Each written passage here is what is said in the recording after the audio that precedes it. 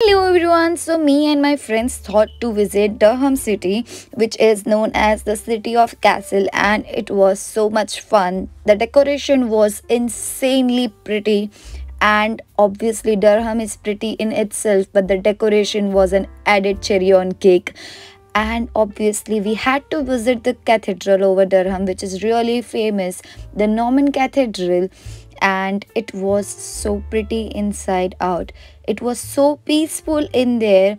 We went to a mass. It was not really a mass but just a practice going on over there like for something. It was some orchestra going on we enjoyed that and it was so peaceful.